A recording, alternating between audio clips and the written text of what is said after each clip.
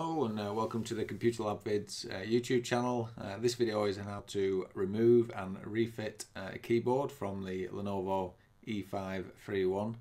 Uh, there is some other models as well that uh, fit very similar to this so obviously if yours looks similar it might worth just a look and just watch this video.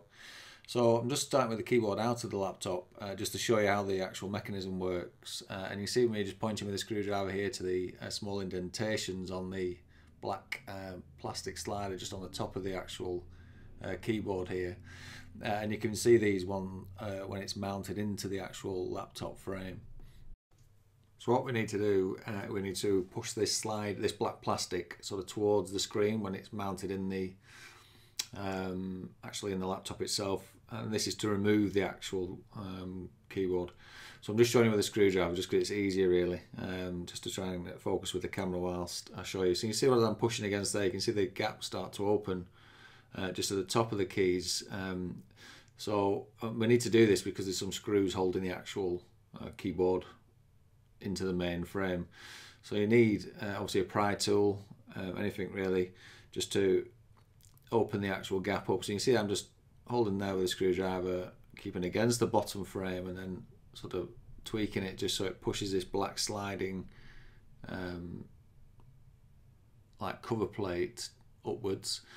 Um, and if you're trying to do this obviously whilst it's mounted in the actual laptop uh, you can work your way along and just see if you can get it to move.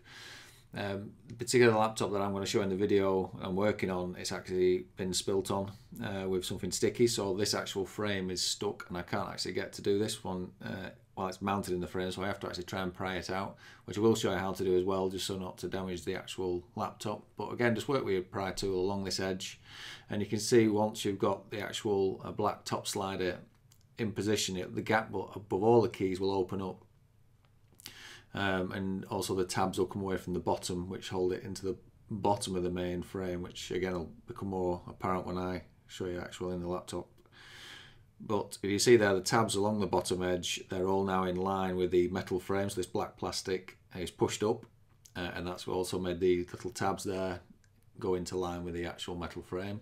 And then this exposes the screws there so one on the caps lock there and there's one on the F key there another one on the J key and there's also one down there on the colon key.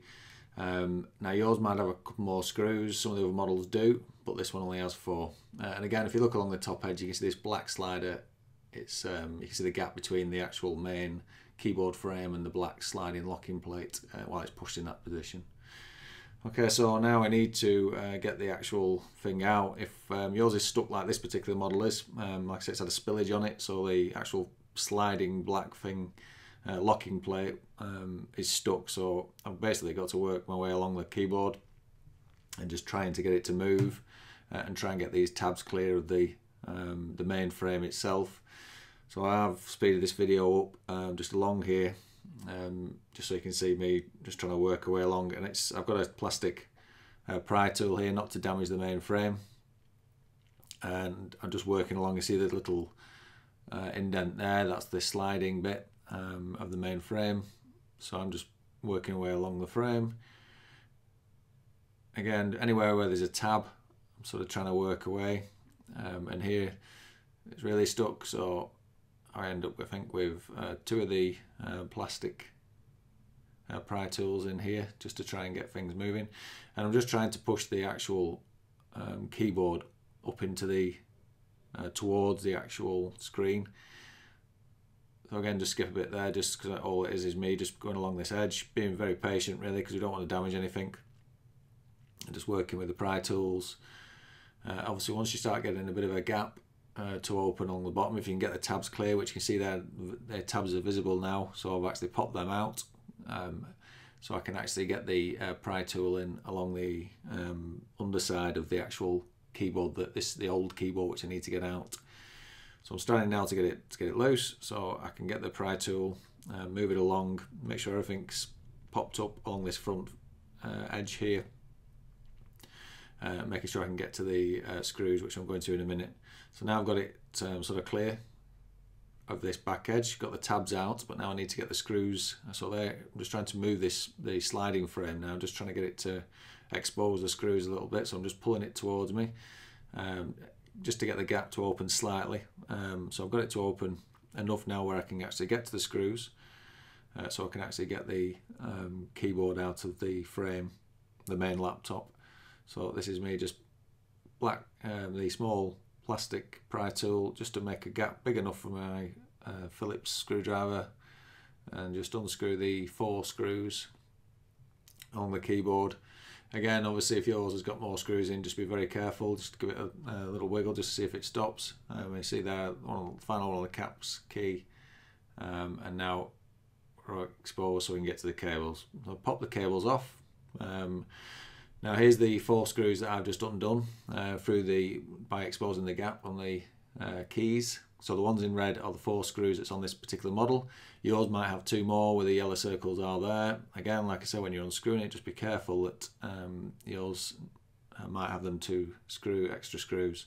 So this is the underside of the new keyboard.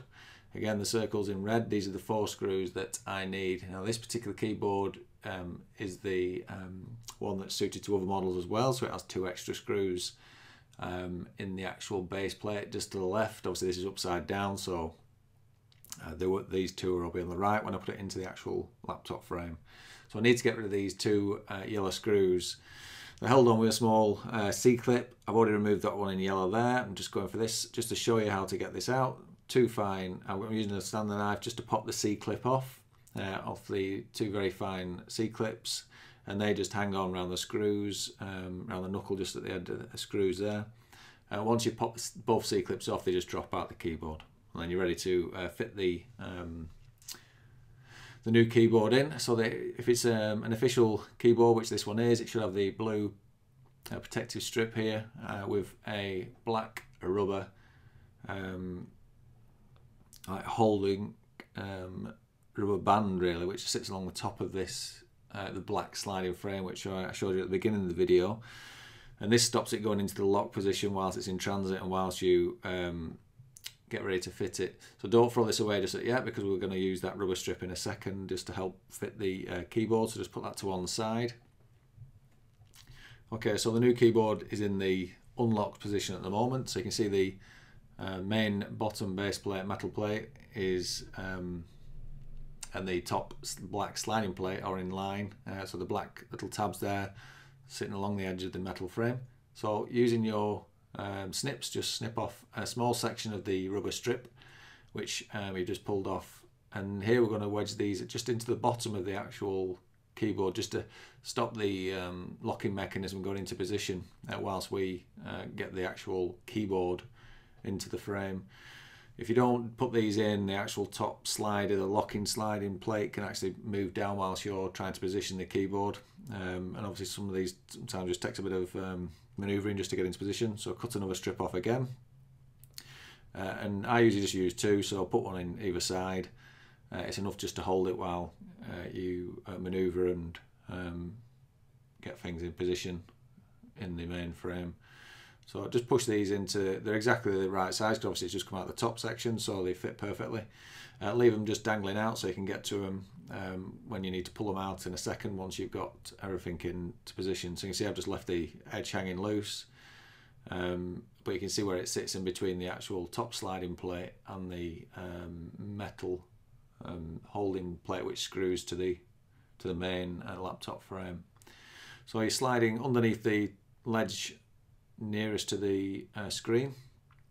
And once it's tucked under there, you will feel a slight spring on it because in the centre, usually um, the middle of some of the F keys, um, where the uh, top slider is, that'll just push up against um, the inside of the keys, but don't worry about that. We're trying to keep this gap in, marked in yellow there all the time so we can get to the screws. So now I'm happy that I'm sort of relatively in position. Start to uh, work my way along uh, the screws here. And all the time keeping an eye on and make sure that rubber strip's still in place indicated by the green arrow there. So we'll just do the four screws. Again yours might have a couple more screws sort of nearer um, to the uh, number pad on this side. Uh, but just go along the screws that you need to tighten up. Make sure you don't over tighten them just nip them up. Uh, and once you're happy that um, we're in position we then need to make sure that uh, the tabs uh, nearer to the mouse pad are sort of in and pushed down and ready to be locked in. So this is where we're going to slide the locking plate towards um, the mouse pad, sort of away from the uh, LCD screen. So make sure the tabs are in place. Um, again, just use your pry tool just to push it down, uh, just to make sure it's in. Don't force it. If you're forcing it, there's something gone wrong somewhere and it's just not quite sitted right. So double check everything and once you're happy, you can pull the uh, rubber spacers out that you placed in. And once the rubber spacers come out, then that leaves the um, top sliding locking plate to push into, uh, push into position. So obviously pull the two out, make sure that the tabs are then pushed sort of lined up and then using a plastic pry tool so we don't want to damage anything we just need to put it into the small indentation and pull towards the um, trackpad and yourself so on each of the indentation is free on this particular one just keep pulling and making sure it's going into position just working your way along because you're pulling away uh, and this also makes the keys um, if you don't pull it in position correctly, the keys won't actually move up and down in the full stroke. So you need to make sure that everything's fully uh, lined up here and this is pulled up right up against the bottom of the screen. Okay, so thank you very much for watching uh, my channel. And if this video has helped, please give us a thumbs up or leave me a comment below. Or please do subscribe uh, if you'd like to see more hints, tips and how-to videos.